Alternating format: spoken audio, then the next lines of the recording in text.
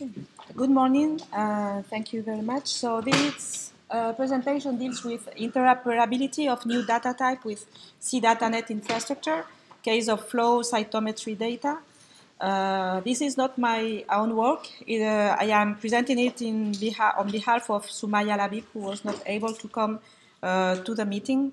Uh, so it's a work that has been done in the um, uh, Mediterranean uh, Institute of Oceanology with uh, collaborators from other institutes from, from Europe. So first, a word of, on phytoplankton. So phytoplankton First, by definition, they are photosynthetic microorganisms. That means that also that they are very teeny organisms, smaller than one millimeters most of the time. Uh, they also are the, the very important actors uh, of the um, biogeochemical processes in the, all the aquatic environments, not only the ocean. And uh, also because they are primary producers, they produce uh, almost half of the net primary production uh, on Earth.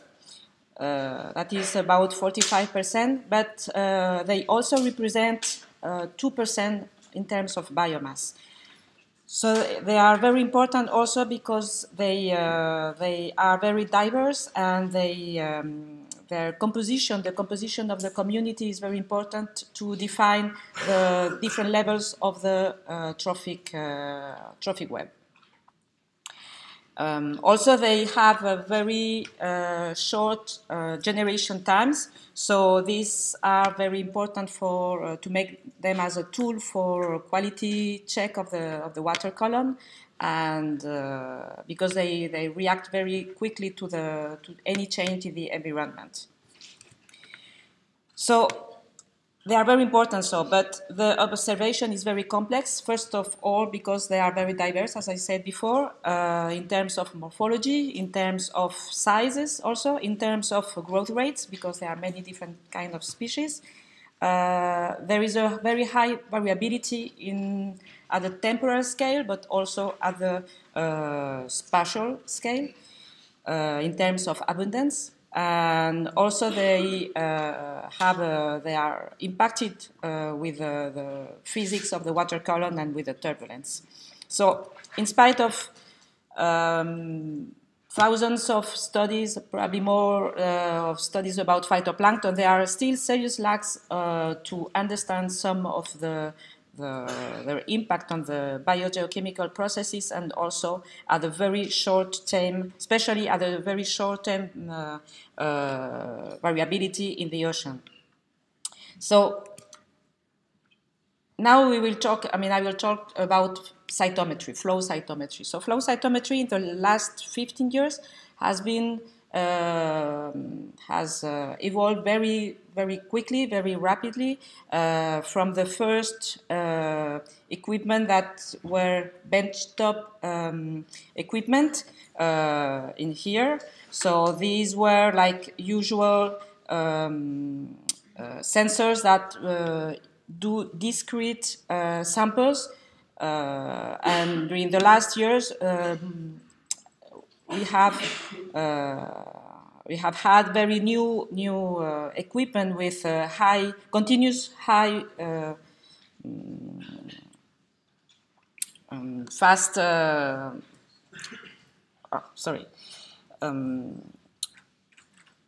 automated sorry automated measurements of uh, of samples like the CytoPro that is here in the Marseille uh, Institute. Also the Cytosense that you can see here in the ferry box or close to the ferry box on the uh, opportunity ships, and they can also be mounted on uh, on a buoy for several months to get the, the data. So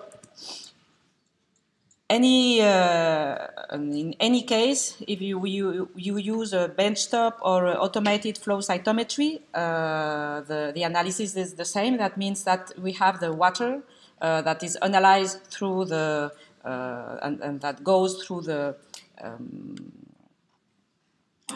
uh, laser beam uh, with the cells. So each cell and each particle that is in the water will be analyzed and its uh, optical properties will be detected with the laser beam.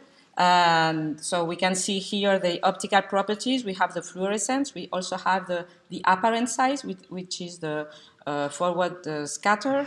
And in some uh, equipment, we can also have some pictures of the particles and some pictures of the of the cells. If they are uh, big enough, like about uh, higher than 20 microns, then it's possible to get a picture of the cell. So what we get also by the end is uh, this kind of cytogram that you have here below. that shows the different properties and each abundance of each functional group of the different kinds of phytoplankton. So this work is part of the SeaData Cloud project, uh, especially the uh, work package 9 that was about ingesting, validating, and the long-term storage and access of flow cytometry data. So uh, this uh, task was can be broken down into three different uh, parts. The first was to, to, uh, to define a common vocabulary for flow cytometry data. Uh, then, uh, of course, to define the data transport format for the same kind of data, for flow cytometry data. And then, of course, the, in, to ingest the, the data uh, into SeaDataNet infrastructure and portal. So the first step, the common vocabulary for the flow cytometry data, can be itself uh, broken down into four different steps. First, they do uh, analysis of the existing codes. Uh, that is the PO1 list, the vocabulary for the PO1 list. Uh, then they work on the with the JERICO-NEXT um, project and other partners, uh, five, especially five different uh, marine institutes that were used to work on flow cytometry data. And they try to identify the common parameters that most of the users uh, used to, to work with uh, flow cytometry data. Then they also did uh, very important work on literature review from the last 35 years on flow cytometry data to identify and to give definitions of those parameters. And finally, they build up a questionnaire uh, with 58 questions that was sent to 180 users, uh, regular users of flow cytometry.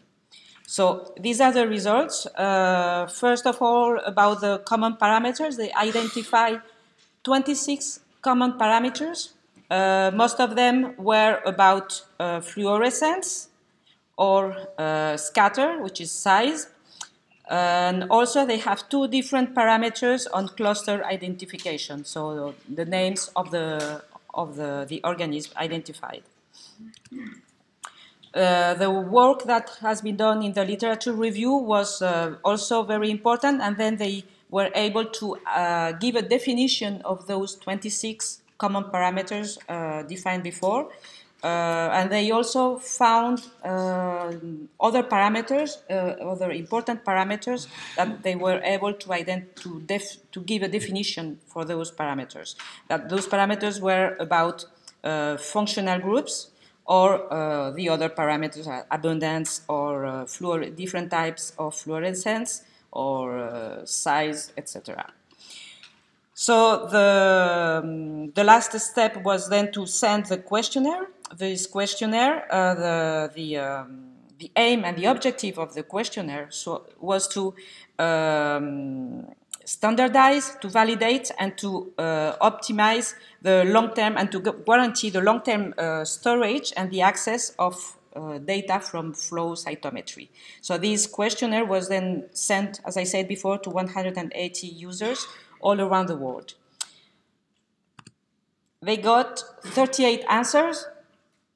Uh, they were waiting for about two months, so only 38 answers, most of them from Europe, some of them from uh, North or South America, and also from Asia.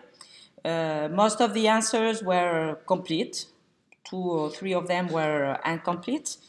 Uh, but the good thing is that uh, when you see the different uh, profile of the user that uh, sent the answer to this questionnaire, uh, you can see that most of them were researchers or engineers, and especially the most important is that they were confirmed or expert uh, level of uh, about flow cytometry uh, utilization. So the 38 answers is, uh, we can say that it's representative of the, the utilization of the, the vocabulary for flow cytometry. So once they got that, uh, they had to align to get aligned with the semantic uh, model of uh, BODC as uh, presented yesterday by uh, Gwenaël. So that means that, that they have a property, they have an object. I mean, we have a property, we have an object, we have a relation, we have a matrix, we have a, a method also. And because flow cytometry is about biology, but it's also about optical properties, that is a physical model. They have two different kinds of parameters, so they had to fit either a biological model or the physical model. So as, uh, for instance, you can see for the biological model, uh, an, an example here, we can get the abundance of bacteria. Uh, so using the WoRMS database also to get in relation with the right taxonomy uh, per unit volume of the water body. And the method, of course, is the automated flow cytometry. Uh, physical uh, parameter here was, for, for, for instance, the forward light scatter uh, in average, that was a statistic, uh, per cluster in the water body, and of course with the same method, with the flow cytometry uh, sensors. So uh, once they got all these definitions and uh, they, what they did is that they create a new list, the FO2 list, uh, which is a dedicated list for flow cytometry cluster names. And also they updated the different lists, the, the PO1, the PO2, and also the L22 catalog uh, with the different vocabularies, with the new, new words of the, of the library. Um, so that was for the for, the vocabularies. So then the second step was the data transport format. So this was also created, uh, and this has been published on uh, the SeaDataNet portal uh, with, of course, the documentation, uh, the specific documentation about um, about the different uh, parts of the of the format. And then the last step was to ingest the data into the SeaDataNet portal. So with the first local management of data, so local I mean uh, in the Mediterranean Institute of Oceanology in Marseille, where they get the acquisition of data, then the analysis, then the consolidation with uh, some uh, package uh, using our uh, software to get data files, and then the quality check by experts, and then the uh, integration into the, the Cytobase, which is a database, the local data, data database on um, flow cytometry. So then they can go through the SeaDataNet portal that was uh, coupled with uh, Mikado uh, software to get the connection to the different catalogs CSR, uh, EDMED, uh, etc., the CDIs, and then uh, the request, the, the access of the data can be done with the request status manager software, and then the, the import, I mean, the user can import the data with uh, ODV and Ocean uh, Data View uh, software. So that means that right now it's possible, since a few months now, it's possible to get into the SeaDataNet portal to get the data from flow cytometry, which was not uh, possible before. Uh, so the data is uh, accessible through uh, SeaDataNet. So as a summary and conclusion, I uh, just uh, wanted to say that the, so now flow cytometry data is ingested into the SeaDataNet infrastructure. Uh, whatever the instrument used, we have the common vocabulary that has been built up. and uh, acknowledged by most of the expert users on flow cytometry. Uh, it has been decided also to create a group of experts to be that should be interested, of course, in contributing to the to the uh, to the update uh, of the vocabulary. Uh, this update is uh, is possible through the BODC vocabulary editor uh, webpage. And the last uh, important thing is also to say that the BODC is also setting up some repositories for GitHub uh, for each individual collection, but also for the FO, FO2. Um, and these could be used to share and to discuss uh, issues uh, with a wide, uh, more widely than, than in this uh, first project. So thank you very much for your attention. And if you have any question, I can try to answer.